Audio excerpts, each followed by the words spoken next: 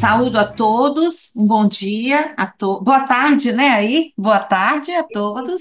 No Brasil ainda estamos de manhã. Eu gostaria muito de agradecer às professoras Nina Vieira, Carla Vieira e Catarina Simões, que me deram essa oportunidade de estar com vocês, mesmo que virtualmente, do Centro de Humanidades, da, da da nova Faculdade de Ciências Sociais e Humanas de, da, da, equipe de Lisboa, a toda a equipe que está participando da organização do Summer School, aos técnicos responsáveis aqui pela transmissão, agradeço a todos e digo que é uma grande alegria poder é, estar com vocês e uma grande honra. É, eu vou partilhar minha tela para poder é, começar a minha fala.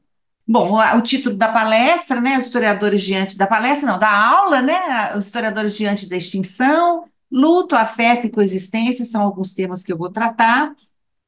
É, e eu começo, em, além da excelente companhia de vocês, com outra boa companhia, que é o Michel de Montaigne, quando ele diz que quem ensinasse os homens a morrer, os ensinaria a viver. Gosto muito dessa fala e vou tentar desenvolver é, essa questão da escrita da história, da vida e da morte, me inspirando em Montaigne, mas, mas evocando um outro historiador, um outro pensador, que é o Michel de Certeau, que deixou uma contribuição intelectual especialmente cara para nós, né, os, os estudiosos da história, uma obra que transitou entre a história, a psicanálise, a filosofia, a sociologia. E para o Michel de Certeau, a escrita da história é, entre outras coisas, uma prática de exorcismo da morte.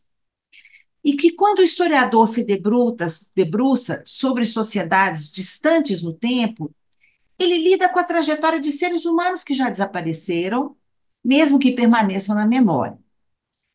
E tal enfrentamento da morte, porque a morte está presente, são homens já, já, e mulheres já mortos, né? Não se faz nem por um mecanismo de negação que a história possa reviver essas pessoas completamente, nem pelo elogio da morte, mas de uma maneira que o historiador, a escrita da história, valoriza a vida, valoriza o movimento, o devir, a transformação. E a escrita da história pode revigorar nosso presente, as nossas possibilidades e os nossos desafios. Essa é a proposta do Michel Certeau. As narrativas, eu acho que ele tem uma ligação grande com Michel de Montaigne. As narrativas sobre o passado têm, assim, uma dupla função, digamos. Elas são discursos nos quais as ausências e os mortos marcam sua presença. A escrita da história é um rito de sepultamento, implica o processamento das nossas perdas em relação ao passado. Simultaneamente, a linguagem escrita, a história escrita, ao escrever a morte no relato, segundo o Sertor, ela faz com que os vivos existam.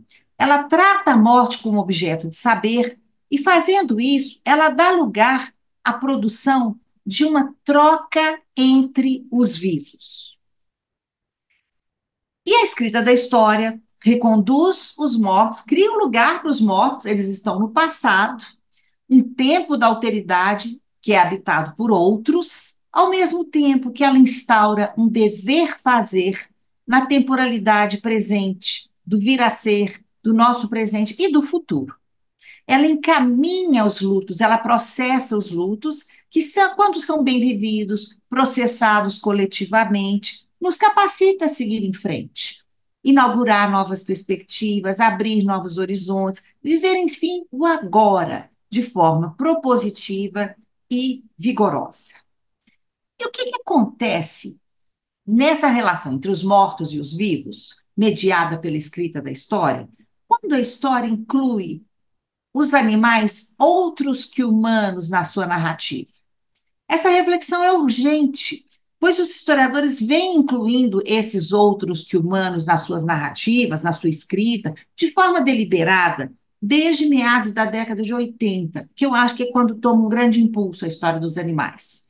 Em quatro décadas, vejam bem, é muito pouco de estudos históricos dedicados ao tema dos animais outros que humanos, é possível notar um crescimento hoje exponencial de artigos, de livros, de textos e mesmo de publicações periódicas específicas que configuram um verdadeiro animal turn.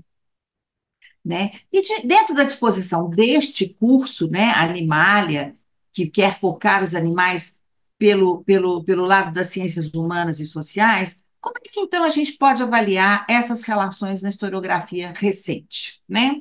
Eu estou utilizando essa expressão outros que humanos aqui, ela me agrada muito, porque eu acho que quando se diz animais não humanos, você separa em dois apenas grupos, humanos e não humanos. E os outros que humanos eles dão uma certa ideia da pluralidade de tudo que não é humano. São muitos animais, dos insetos aos elefantes, das minhocas aos crocodilos, né? Dos sapos à baleia. Então, são muitos outros aí.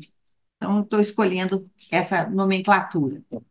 Bom, a seguir, eu vou apresentar, então, tô, essa aqui é uma certa trajetória da minha fala, tá? É, da minha aula. É, eu vou apresentar brevemente alguns dos momentos desse despertar relativamente recente dos historiadores para o devir dos animais outros que humanos no tempo e dos animais como atores cruciais das narrativas históricas.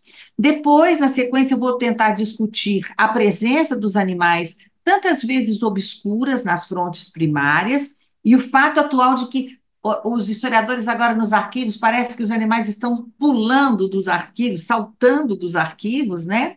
Para tanto, eu vou explorar três experiências concretas de pesquisadores. É, dos arquivos, eu seguirei para as condições históricas, considerando que os historiadores são eles próprios seres do seu tempo. É, e eu quero explorar um pouco como é que as mudanças epistemológicas que estão implicadas na história dos animais dialoga com os contextos que a gente está vivendo, do antropoceno, os riscos da extinção do, do, do, da vida no planeta. Finalmente, eu vou explorar como que, quando integram seres outros que humanos na escrita da história, os historiadores eles se aproximam de um diálogo com a biologia, é, um saber que explicita a corporalidade de todas as espécies, incluindo o Homo sapiens, né?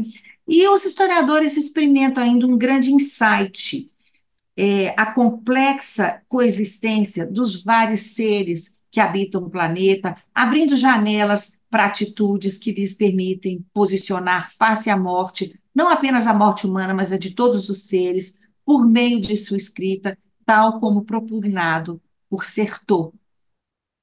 E a conclusão, eu vou dizer aí sobre, um pouco sobre história e Kairos. Bom, então vamos aqui, os historiadores descobrem os animais rapidamente uma, uma certa, é, como é uma aula né, introdutória, uma, uma, uma panorama. Mesmo que a Escola dos Análises, que é uma corrente historiográfica fundada por Mark Bloch e Lucian Febre, em 29, no editorial da revista Análise, mesmo que essa Escola dos Análises tenha aberto e chamado a atenção para a diversidade dos sujeitos históricos, os animais, outros que humanos, eles estavam nessas narrativas, várias delas, mas de uma forma mais tangencial.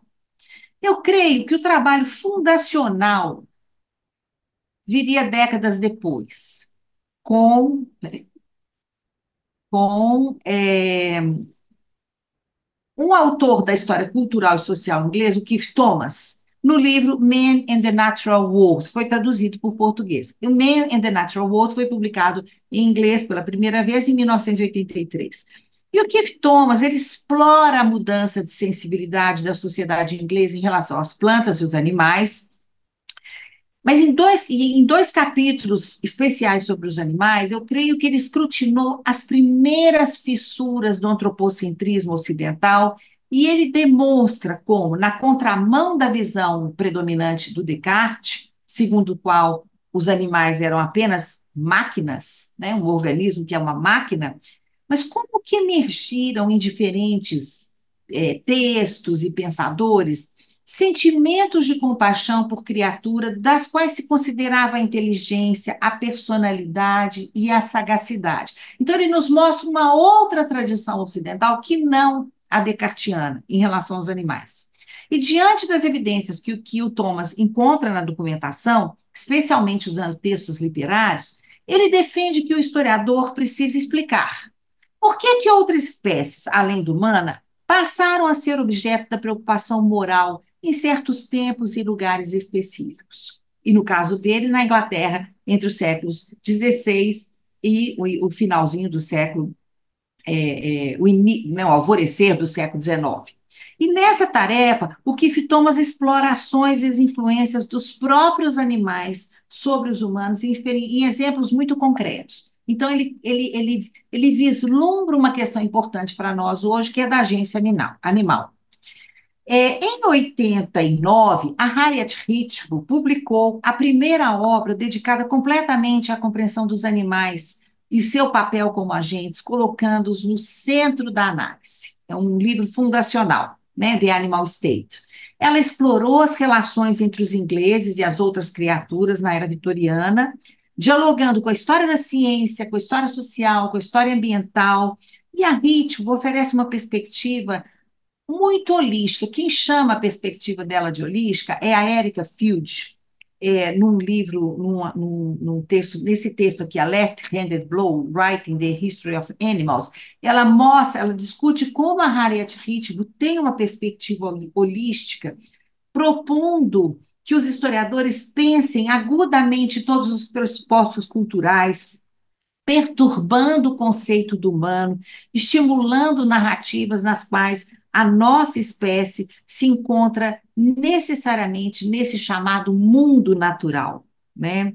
É, e a Erika Field tem uma coisa importante nesse texto dela, que eu vou mandar a todos na bibliografia, que ela explora o paradoxo que o historiador vive da urgência de se fazer a história dos animais e, ao mesmo tempo, a impossibilidade é, de fazê-la, porque, em última instância, os animais, outros que humanos, não deixam documentos, serão sempre vistos por meio de escritos, de relatos escritos ou orais, fotografias, pinturas e por aí vai, mas realizadas por humanos. Né? Então, esse paradoxo aí.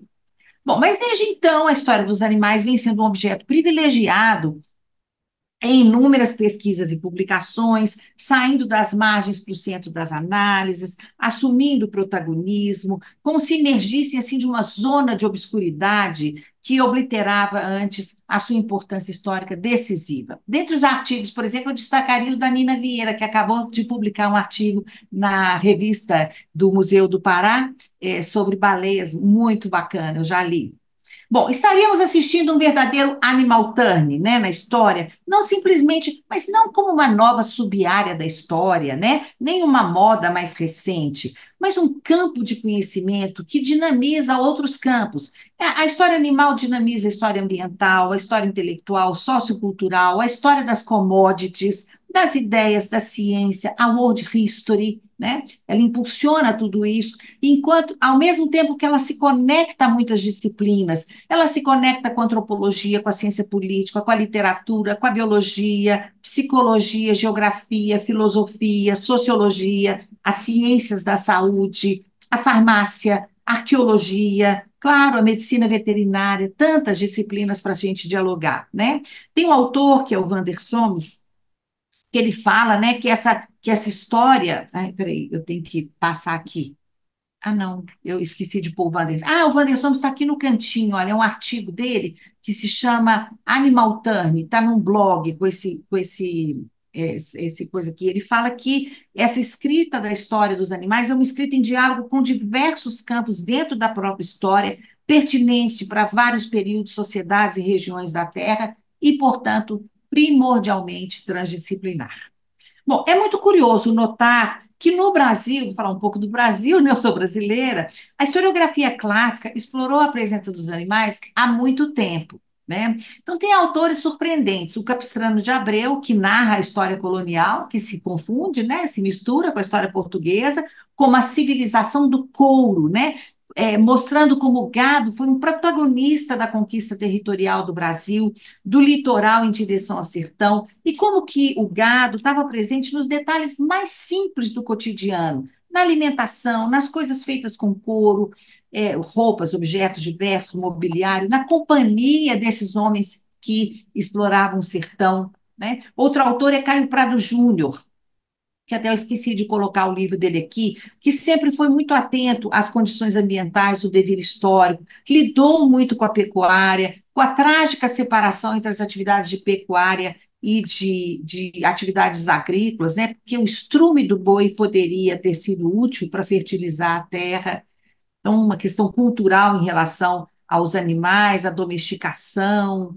O Sérgio Buarque de Holanda, em Caminhos e Fronteiras, eu acho que a contribuição mais, mais, mais original de historiador brasileiro, né, antes da história dos animais atuais, porque ele explorou a relação que havia entre os indígenas, os colonizadores, as abelhas nativas, os bichos da floresta, os peixes, em capítulos fenomenais de Caminhos e Fronteiras, né? É, o, Nordeste do Gilberto Freire, ele não é um historiador, né? Ele é um, um sociólogo, mas esse livro é muito importante porque ele explora a repulsa, uma questão cultural dos colonizadores, né? E dos é, da, da elite branca no Nordeste, é, e dessa repulsa que eles têm do que eles chamam de bicho do mato, e a incompreensão total que eles tinham da diversidade estrondosa da floresta atlântica, o que alimentou a destruição voraz da floresta, um verdadeiro, que eles chamam de verdadeiro estado de guerra entre o homem e a mata. É, nos anos 80, um outro historiador, Alcir Linharo, descreveu a importância das tropas puxadas por bois e, por, por, por, bois e mulas, né, na vida econômica, social e política do, do Brasil em fins do século XVIII e XIX, né, e mostra o papel dos burros e das mulas povoando os caminhos e as paisagens do centro-sul brasileiro. Né? Embora todos sejam muito valiosos, esses trabalhos eles focam os animais somente para depois se centrar de novo na narrativa sobre os humanos. Né? Então, os mulas, os bois, as abelhas, os bichos diversos das florestas continuam em segundo plano, por vezes ocultos, né? em substitutivos, por exemplo, couro, pecuária, tropas, né? eles continuam, mesmo que haja aqui alguns, alguns insights, eles continuaram como entes secundários, passivos, né? objetificados. Mais recentemente, os historiadores brasileiros têm oferecido contribuições muito relevantes, centradas na agência animal, no protagonismo histórico dos animais, né? acompanhando a tendência internacional. É, nós poderíamos dizer que também há um animal turn é, com as marcas em consonância com o pensamento internacional, mas com as marcas originais da historiografia brasileira, né, que tem uma tradição vigorosa aí. Então, nós temos autores, eu queria destacar Aprobato Filho, que estudou os animais na cidade de São Paulo, animais urbanos, Diogo Cabral, que tem estudos sensacionais sobre formigas, Natasha Ossos, que trabalhou com sociedades protetoras de animais e com cães, é, André Vital, que tem feito trabalhos também muito importantes, vou listar na bibliografia, Gabriel Lopes, que trabalha com mosquitos no Brasil, né? É, e as várias epidemias. Então, nós temos aí uma tradição historiográfica que, e, uma, e, e muito, muita, muito, muitos desafios a, a, a realizar. Né? Bom, os historiadores dos animais se encontram nos arquivos. Né? E eu vou, para falar de como que os animais têm encontrado os animais nos arquivos, quero que a Fiat falou que a gente tem que lidar com os documentos que os homens e as mulheres fizeram sobre os animais. Então, como é que está dando esse encontro? Eu quero dar, ao invés de falar muito abstratamente, eu vou dar três exemplos de pesquisadores encontrando com os animais nos arquivos. O primeiro dele é é, esse livro do Zeb, esse artigo do Zeb Tortoriti, que está no livro The Historical Animal, tá? que chama é, As Histórias dos Animais nos Arquivos, né? esse texto. Ele é dos Estados Unidos e ele estava no México, Zeb, pesquisando os arquivos do Tribunal da Inquisição, e ele estava focado nas fontes primárias sobre crimes sexuais que eram considerados contra a natura. Essa era a pesquisa dele. Mas ele se deparou com uma história lá, a de Pedro Ná, que era um rapaz de 14 anos que foi condenado por bestialidade e executado em praça pública em 1543. Para isso, ele foi conduzido a cavalo no local, com um peru morto enrolado no seu pescoço. Supostamente, o peru era o cúmplice do ato de bestialidade.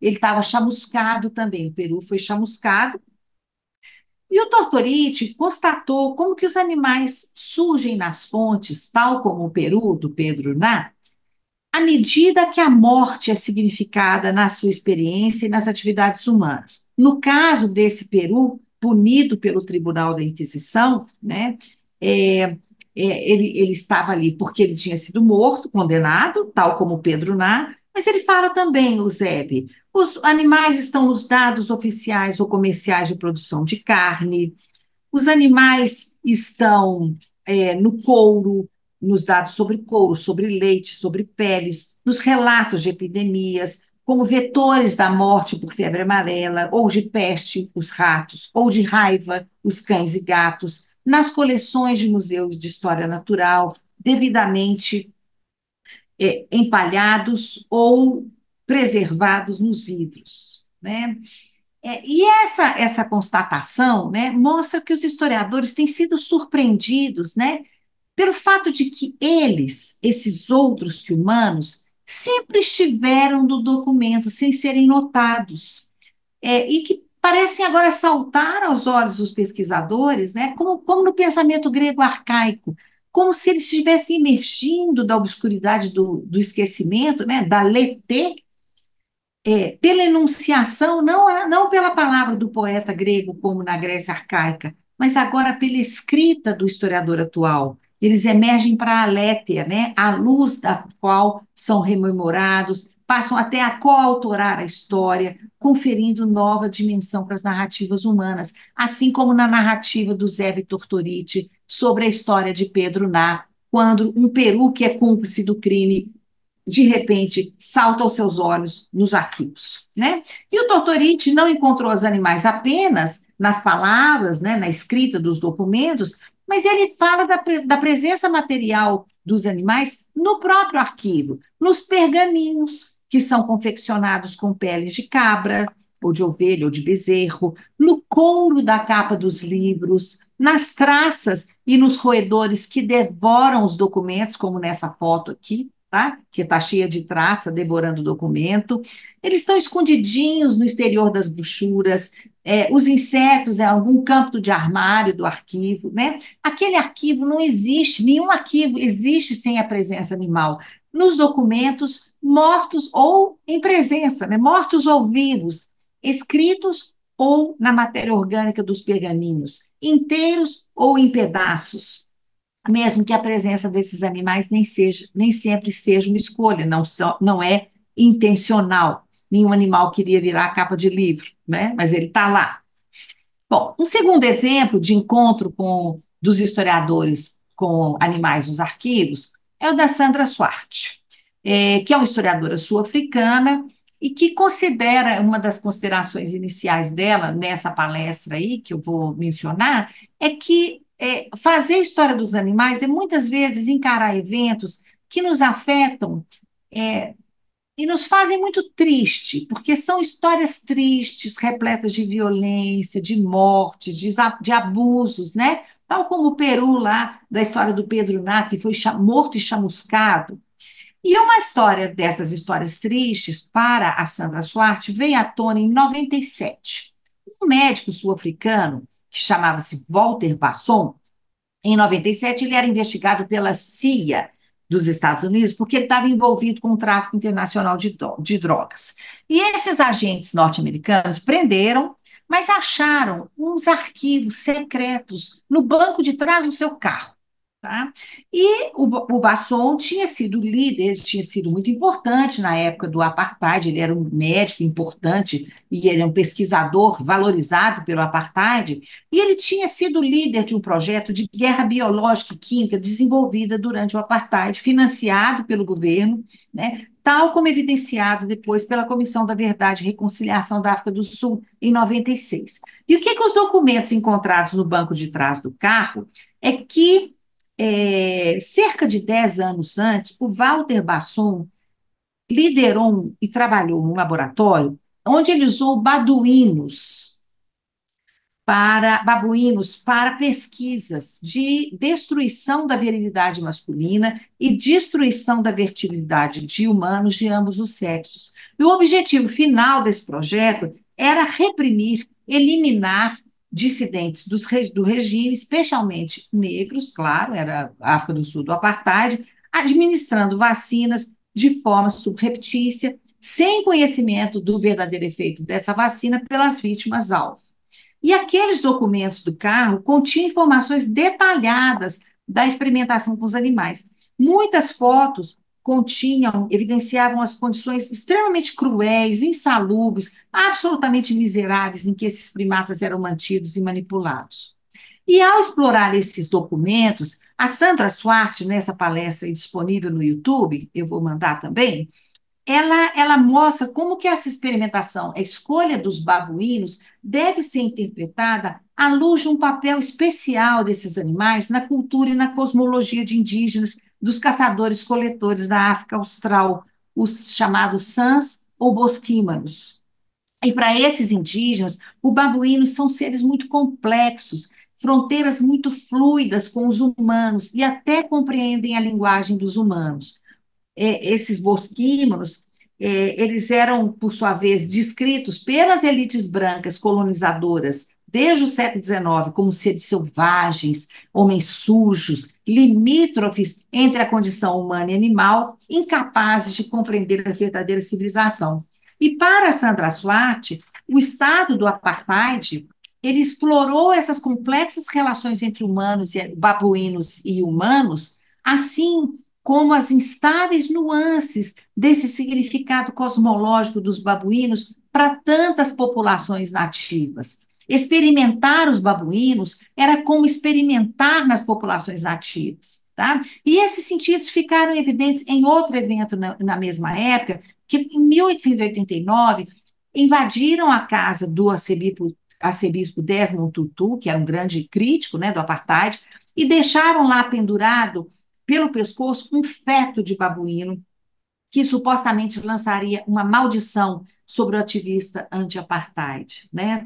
Então, esses primatas utilizados nas experimentações emergiram da documentação secreta achada, por acaso, num banco de um carro, e, por sua vez, encontraram na Sandra Swart, uma grande pesquisadora, um olhar atento para estudar a sua história, né, que, como ela ressaltou, ela mesma ressaltou, é realmente triste. E principalmente porque o Walter Basson mesmo julgada, levada a julgamento em 99, com 67 acusações, não foi condenado por questões processuais, falhas técnicas do processo de acusação. E ele continua livre, tá? solto.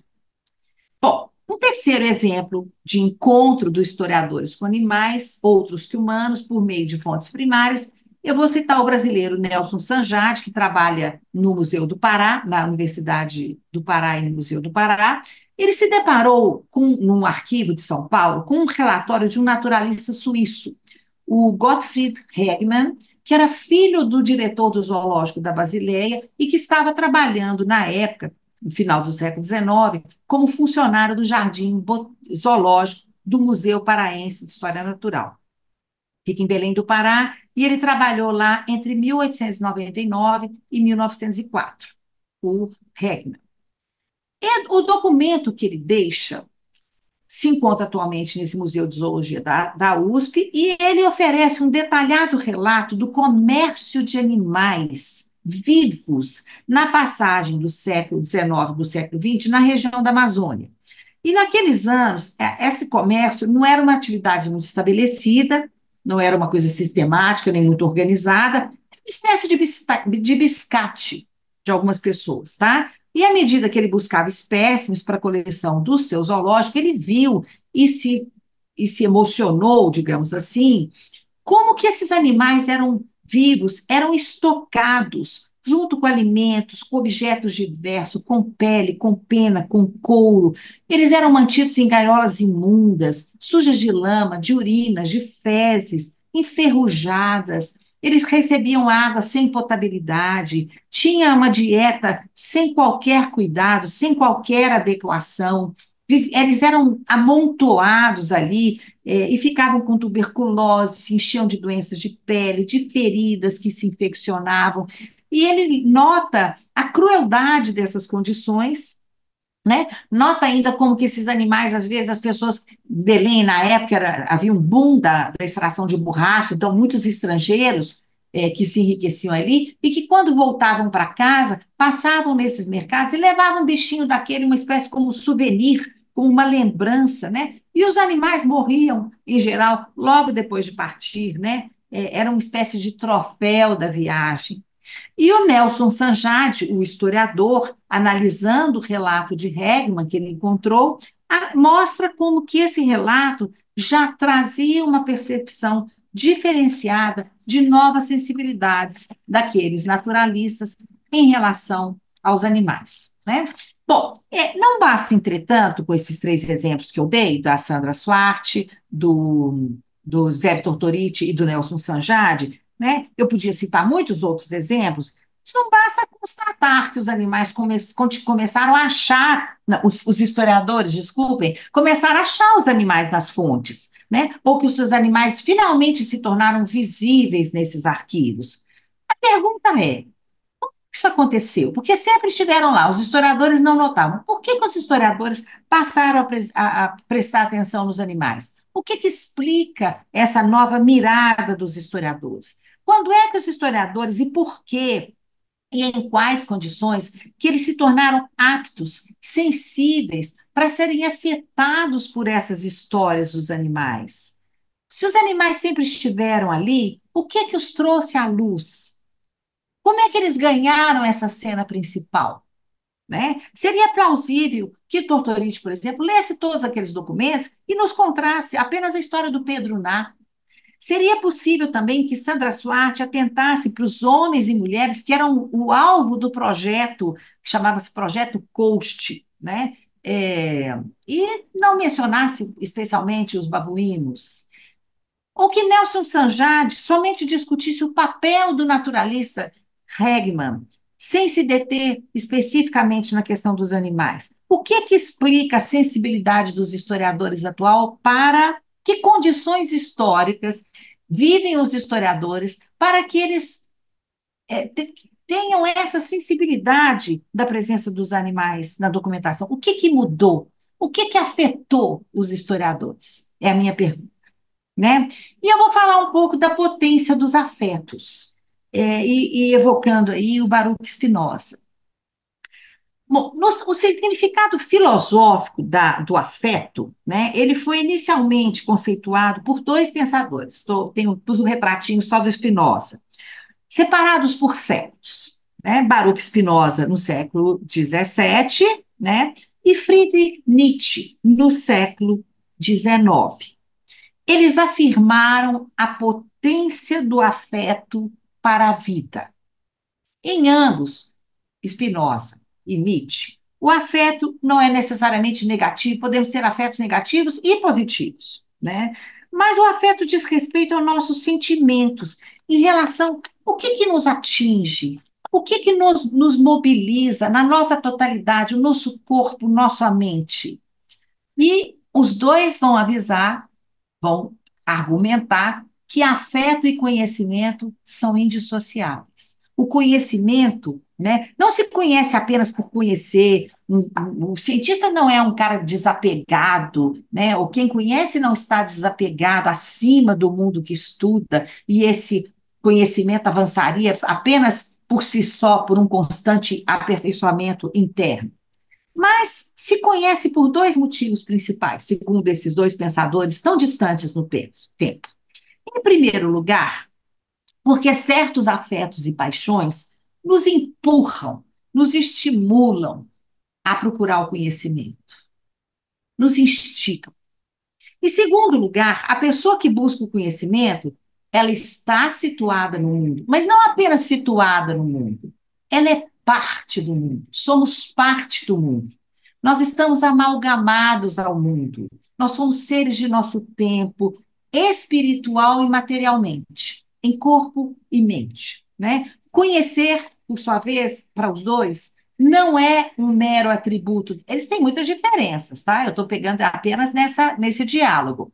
É, conhecer não é apenas um mero atributo da mente, que gente, do intelecto, digamos assim, mas o aumento da sensibilidade afetiva do nosso corpo, a dinâmica do pensamento da mente, eles caminham de par, eles caminham juntos. A mente conhece em mútua relação com o que, que o nosso corpo experimenta. É impossível separar corpo e mente aqui.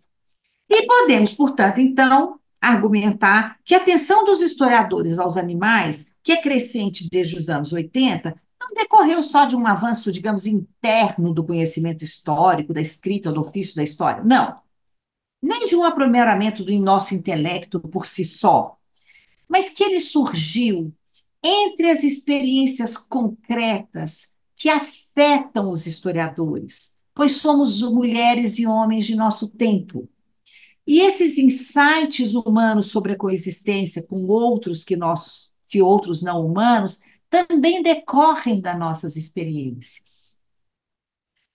E frente à condição humana, na sua condição biológica, a nossa espécie aparece cada vez mais nos dilemas da nossa contemporaneidade como uma espécie, na miríade de outras espécies animais, numa verdadeira humanimalha. Humanimalha é um, é um nome de um grupo de estudos aqui de antropólogos que trabalha na Federal de São Carlos e que eu acho muito interessante. Humanimalha. Existe aí né, uma miríade de seres vivos. As narrativas historiográficas, por sua vez, claro, à medida que os historiadores são afetados e produzem textos sobre animais, por sua vez, as pessoas que lerem os textos de, no, que nós escrevemos e que, por sua vez, também estão vivendo uma série de experiências da nossa contemporaneidade, falaram: olha só que interessante esse texto, eu penso isso sem, de, o tempo todo, e esse historiador aqui está me mostrando que, na verdade, eu já tenho pensado né? É, e esses textos, por sua vez, vão estimular e, e digamos, é, aprofundar essas novas sensibilidades por um conhecimento que se deseja. Nós queremos fazer um conhecimento transformador, né? Então, voltando a Sertor, né? Os mortos focalizados na escrita da história passam a englobar humanos e outros que humanos. Então, nós vamos incluir o Pedro Ná e o pobre do Peru, os babuínos, Desmond Tutu, os bichos enjaulados e o naturalista suíço Hegman, que estava na Amazônia. Né? A escrita da história começa a viabilizar negociações nas quais os vivos que estamos, entre os quais estamos envolvidos, são muito diversos. Né? Nós vamos incorporar os animais outros que humanos, vão expandir a categoria dos vivos que compõem nossos passados, os vivos que compõem nosso passado incluem esses perus, incluem os babuínos, incluem as onças da Amazônia, né? É, e o nosso passado, nosso presente, o nosso futuro. É, essa escrita evidencia as tensões entre as categorias da animalidade e da humanidade, coloca a questão das interações e da coexistência, abala nosso antropocentrismo, qualifica a experiência humana como também inseparável da nossa corporalidade animal, da nossa corporalidade orgânica. Então, o historiador encontra as traças do pergaminhos, toca na capa de couro arrancada de um animal que, que envolve uma, uma, série de, de relatos da Inquisição que estão lá no Museu do México, no, no Arquivo do México, Imagina o odor fétido das jaulas em que se amontoavam os animais em Belém do Pará, no início do no final do século XIX. A gente se choca com as fotos dos babuínos torturados nos laboratórios dos supremacistas do apartheid, né? E isso estimula nós, historiadores, a construir um conhecimento que, por sua vez, aumenta a potência do nosso agir social na nossa contemporaneidade. Né? Então, vou, ainda explorando essa questão das, no, das nossas sensibilidades, né, eu queria citar um, um, um, texto do autor José Augusto Pado, que é um historiador brasileiro, é, em que ele fala que essas, a emergência das sensibilidades das quais nós estamos partilhando né, desenvolvendo hoje, ela remonta ao fim do século XVIII. E isso aconteceu no seio de uma série de mudanças epistemológicas muito significativas, compostas de três movimentos principais. interligadas a, a, a eventos concretos do advento da modernidade. Né? Primeiramente, grandes transformações urbanas e industriais, incorporação de várias regiões da expansão colonial, criaram a, as condições para a constatação da capacidade da ação humana para degradar o mundo natural. Então, a gente percebeu que degradamos o mundo natural. Em segundo lugar, houve uma revolução dos marcos cronológicos da compreensão da história no planeta. E aí ele cita as descobertas geológicas do Charles Lyell e a descoberta da evolução pelo Charles Darwin. Então, o mundo passa a ter uma temporalidade vertiginosa, muito além da história humana. Né? E, em terceiro lugar, para José Augusto Pádua, a prática científica apresentou o mundo como um cenário muito dinâmico, mudando o tempo todo, uma história natural em permanente vir a ser né? nem teleológica, nem pré-determinada, segundo Darwin. Né? Então, essas percepções aí que foram consolidadas no século XX criaram novas disposições, renovaram os afetos dos humanos em relação à natureza, o que convencionamos chamar de natureza, e, consequentemente, aos animais outros que humanos.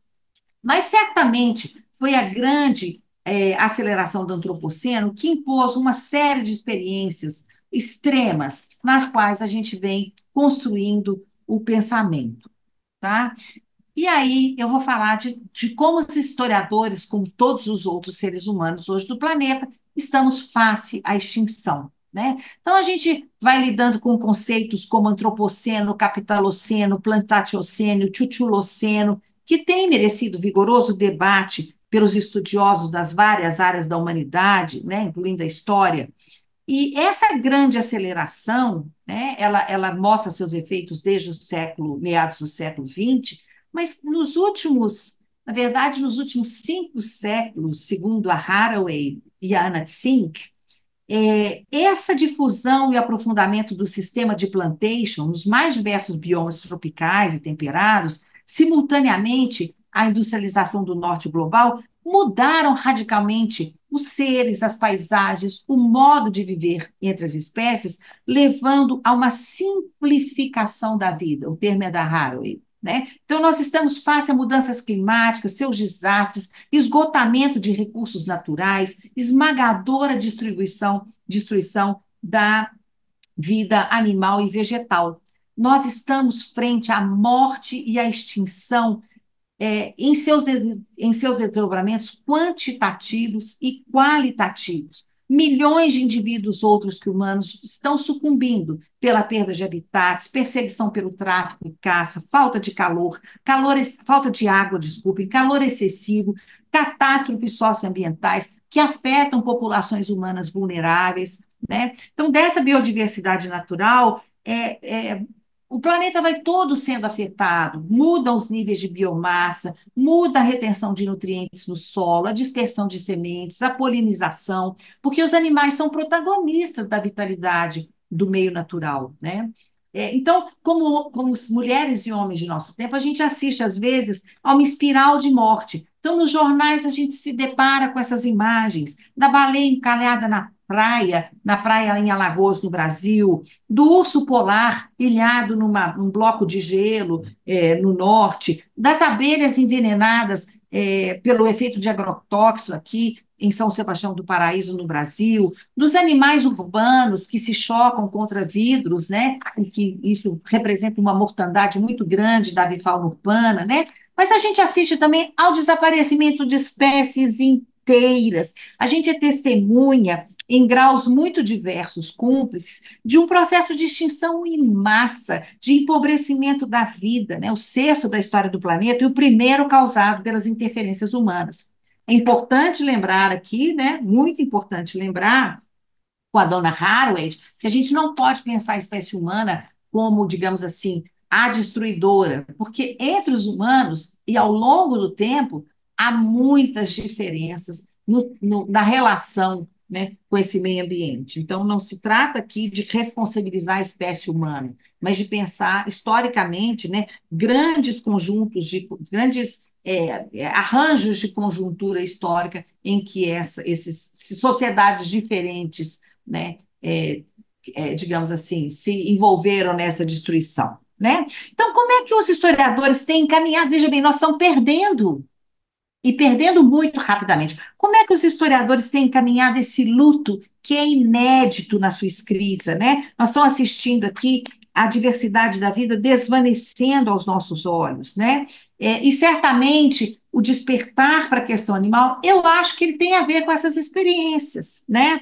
É, os historiadores se deparam com a corporalidade dos animais, com a morte dos animais, nas paisagens que habitam ou que visitam, nas imagens de jornais e revistas, na literatura de divulgação científica. E é, isso aguçou a atenção dos, dos historiadores para os animais outros que humanos, que até então estavam esquecidos nos arquivos. E agora atentos ao protagonismo desses animais nas histórias humanas também, né? na, na, na, como estão mesclados nas histórias humanas. E os afetos que vão surgir dessas experiências são um caminho é valioso para o conhecimento. Né? É, segundo Spinoza, esses afetos nos empoderam a combater outros afetos, que, é, quer dizer, existem diferentes afetos, né? E o exercício da liberdade significaria identificar os afetos no nosso cotidiano e, cap e sermos capazes de buscar alguns afetos e de evitar outros afetos que diminuem a nossa existência, né? O verdadeiro bem é partilhar essa capacidade com os demais seres humanos. Nietzsche, por sua vez, fala que a paixão do conhecimento exige coragem, exige audácia e pode potencializar a vida humana terrestre, né? enquanto experimentação constante. Né? E em vista disso, como é que a gente lida com os afetos, tantos afetos que a gente vive hoje, de tristeza, de desânimo, de, é, de medo, né? mas também de esperança, né? É, como é que lidar com esses tantos afetos agora? E mesmo, por vezes, o ódio aos seres humanos como grandes responsáveis por tudo, né? Então, levando-nos levando ou a uma paralisia de, do tipo não podemos fazer nada, mas também há uma anti-humanismo do tipo, ah, eu, eu, os, os humanos têm um papel sempre destruidor. Né? Como é que a gente vai abandonar a arrogância antropocêntrica sem cair na cegueira anti-humanista? Né, ou ecocêntrica. Também como não sucumbir à paralisia, à melancolia, que tantas vezes podem abrir espaço para o negacionismo. Né? E aí, é, eu estou um pouco preocupada com o tempo. Eu tenho aqui, eu, eu já, já tenho 48 minutos de aula. Eu posso falar mais 5 ou 10? Pode? Tá. Pode sim, pode sim. Tá. Desculpem eu ter me eu aumentado. Não, eu queria ter falado 45 minutos, mas eu, eu estou, ah, vou me pensar aqui. Né? Alguns historiadores, aqui é o grau de extinção, a sexta extinção, vejam a espiral de extinção. Bom, é, a historiadora Eva Tomanska escreveu um texto aqui propondo uma história pós-humanista. Né? Ela questiona o significado de ser humano, ela deseja explorar as possibilidades de reima reimaginar o ser humano nas bases de um humanismo pós-humanista, não antropocêntrico, que critique o excepcionalismo humano, mas que também seja consciente que a escrita da história, ela tanto é realizada como ela é destinada aos seres humanos. Nós não escrevemos para as baleias, nós não escrevemos para os gorilas, nós escrevemos para outros humanos, né? É, e ela, quem enuncia essa linguagem somos nós, seres humanos. São humanos, então, portanto, os únicos capazes de decifrar esses signos impressos, mesmo que ela considere que os, os animais, de alguma forma, são coautores do que escrevemos.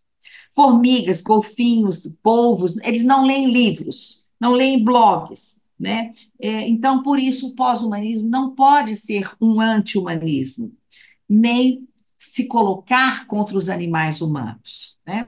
E essa, nessa pós-humanismo, humanismo, ela aponta a interdisciplinaridade entre a biologia e a história. Tá? É, eu vou passar rapidamente nisso, é, porque essa biologia e história, ela abriria janelas de comunicação, né? É, quem explorou muito a, os contatos entre biologia e história, inicialmente foi um próprio, um, um dos grandes biólogos do, da contemporaneidade, já falecido, Ernest Mayr, nesse livro This is Biology, ele tem um capítulo em que ele explora essas essas contatos entre a história e, o, e, o, e a biologia, ele fala é, que ambas lidam com, com o que é único, rejeitam a teleologia, teleologia, a ideia de progresso, afirmam a criação no devir, são incapazes de fazer provisões, mesmo que possam fazer prognósticos, né? e que é, essa biologia evolutiva evidenciaria a contingência da vida humana e, com isso, desbancaria qualquer pretensão de um excepcionalismo humano. Né? Se a gente pensar na história do planeta,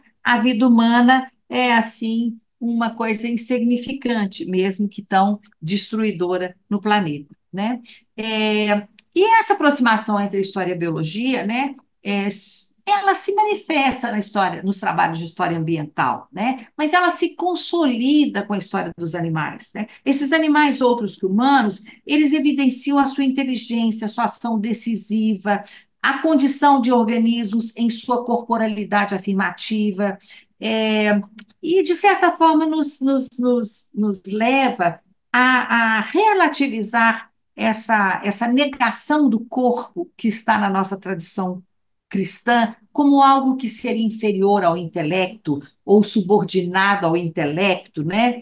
É, a nossa própria animalidade se evidencia e ela não é pouco importante. Nosso corpo tem história, assim como o corpo dos outros animais, né? Então há continuidades e reciprocidades entre humanos e o chamado mundo natural, né? Desses cerca de 200 mil anos da existência do Homo sapiens, não existe natureza separada dos humanos. E nós não seríamos humanos fora da natureza. A gente é parte disso tudo. Né?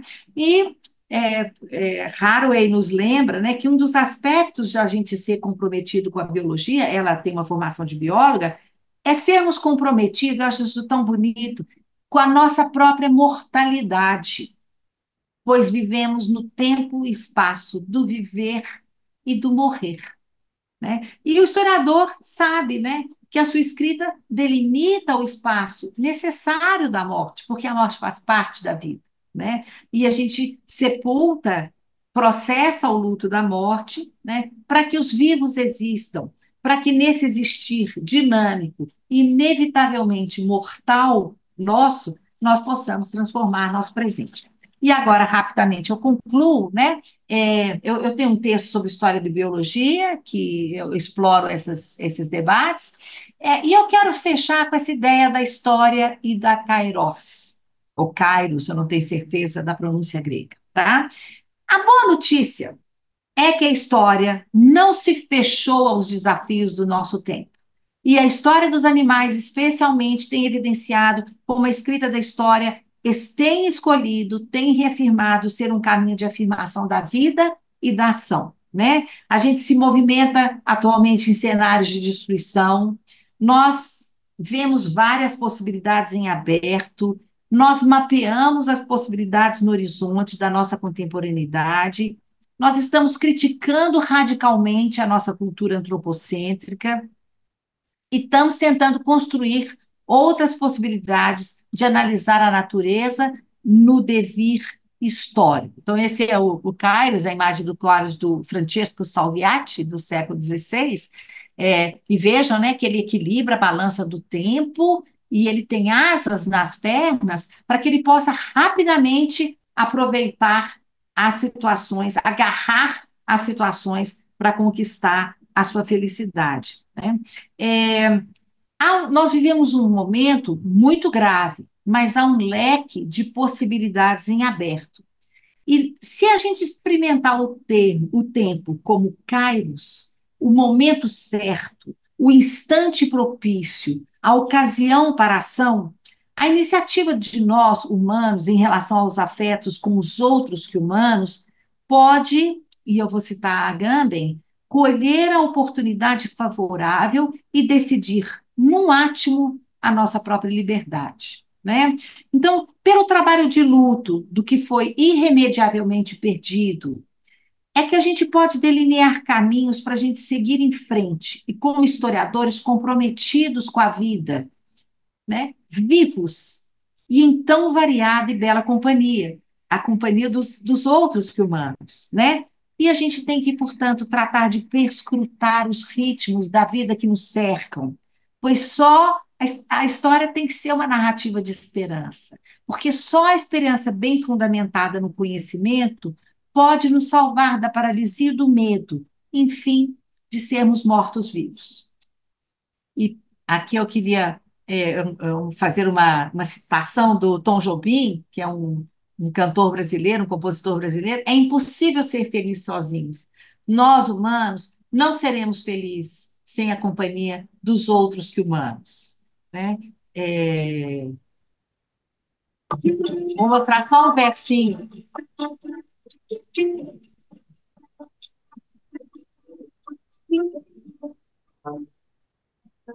Vou te contar, os olhos já não podem ver, pois acho que só o coração pode entender.